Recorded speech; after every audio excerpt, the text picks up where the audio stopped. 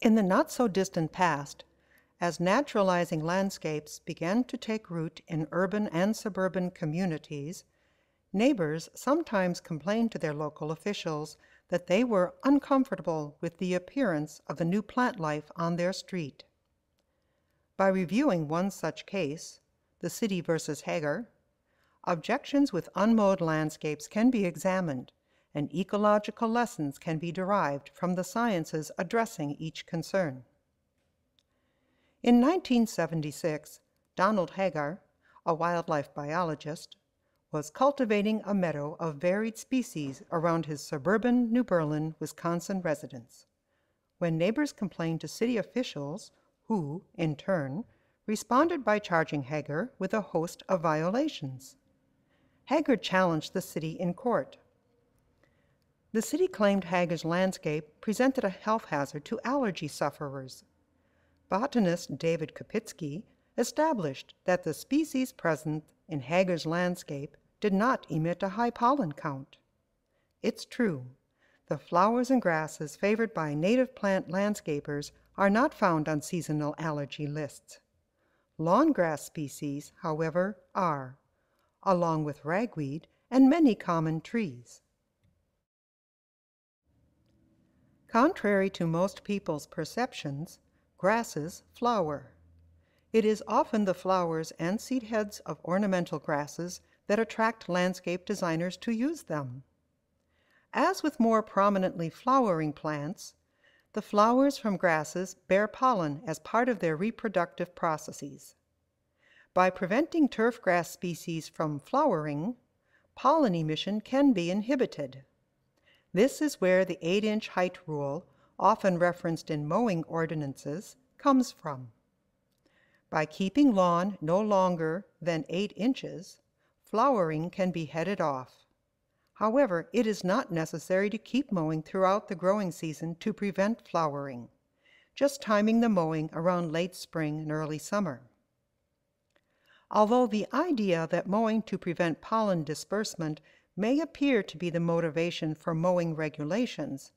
If legislation is to be thorough and consistent, all of the other high pollen plants would face equal regulation. This notion was not lost on the judge in Donald Hager's court case, who questioned the city's logic and sincerity in attempting to enforce an ordinance against wind-borne pollen when the whole of the city was not being examined and indicted equally. Additional information about pollen has come to light in recent years. Some of the plants now bred for the nursery trade are contributing new loads to the pollen count.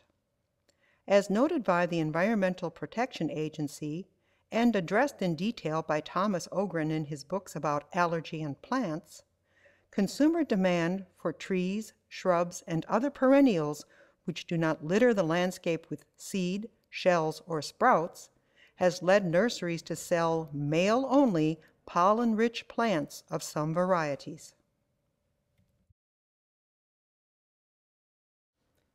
Back to Hager's case. The city of New Berlin alleged that Hager's landscape was a health hazard because it would attract disease-carrying rats. Forrest Stearns, a University of Wisconsin faculty member and U.S. Forest Service researcher, proved rats cannot succeed in the naturalized garden. Deductive reasoning could have canceled out the very notion of rats flourishing amongst wildflowers. If rats could thrive in the natural landscape, then county, state, and national parks and conservation areas would be overrun.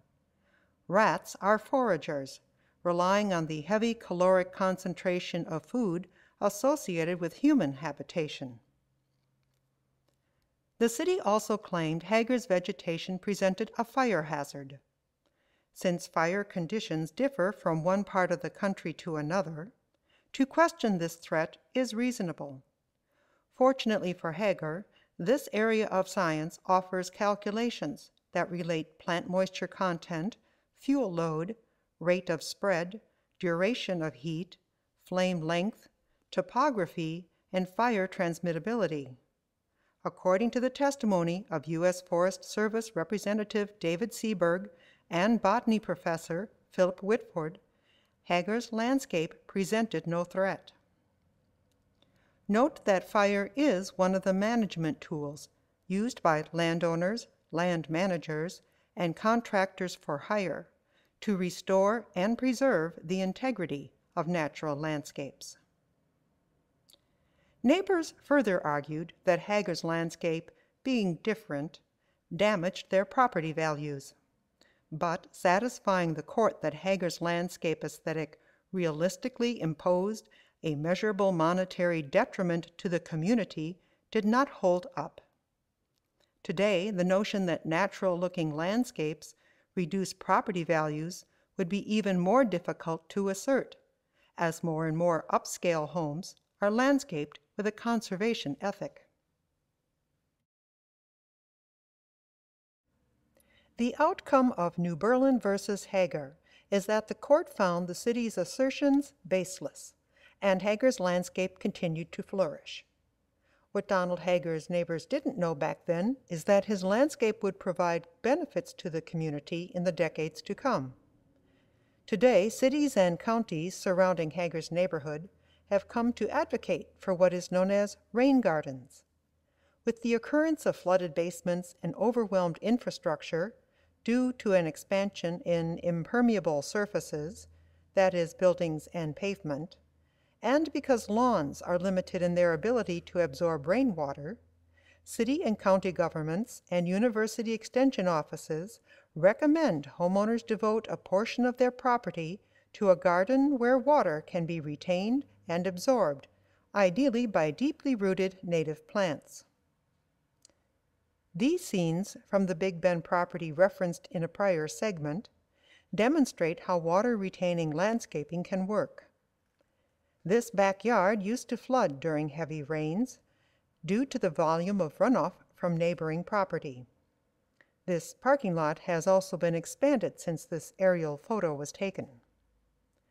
In addition to the quantity itself, the water left standing in the yard bore the colorful sheen of oils and other chemicals washed from the asphalt lot. The solution was to redirect some of the water with a berm and collect the majority in a swale. The swale also receives the water from the house's downspouts, which are directed first to a rubber-lined pond whose overflow is channeled by a ditch to the swale. The swale, or rain garden, is planted with native mesic and wetland plants, and the ditch is spanned by a bridge. Every aspect of the yard was improved and visually enhanced with the pond, swale, and berm system. While some fear an increase in mosquitoes with the presence of a standing water feature, no appreciable increase in mosquito pests was noticed by the property owners, perhaps due to the natural landscaping which harbors toads, frogs, tadpoles, dragonflies, damselflies, and snails, all predators of mosquito pupa and larvae. However, aquatic pellets that kill mosquitoes are always an option. At the other end of the spectrum, dry sites, native plants again provide solutions. Xeriscaping, which reduces or eliminates the need for irrigation, is most famously used in America's desert southwest. In studies correlating landscaping with human health and safety, a few other issues arise. Many are concerned with the application of pesticides and herbicides on manicured lawns. It is beyond the purview of this program to do more than acknowledge this issue and suggest individuals follow the research and act on their conscience. Unlike the ozone in Earth's stratosphere, which protects us from harmful UV radiation, ozone at ground level hampers breathing. Ground level ozone is formed during warm weather when volatile organic compounds emitted by lawnmowers combine with the nitrogen oxides emitted by automobiles and industrial sources. The inhalation of ozone provokes multiple respiratory problems. According to the U.S. Consumer Product Safety Commission's National Electronic Injury Surveillance System, the injuries that are severe enough to send more than 80,000 Americans to emergency rooms every year, that's two out of every 1,000 ER visits, are the result of proximity to powered lawn mowers. Lacerations, burns, bone fractures, and amputations are the immediate health issues. Impaired healing due to introduction of soil bacteria, skin grafts, and plastic surgery lengthen the impairment and contribute to health care and insurance costs. What is not counted in this safety study is hearing damage, which can result from years of exposure to sounds above 80 decibels.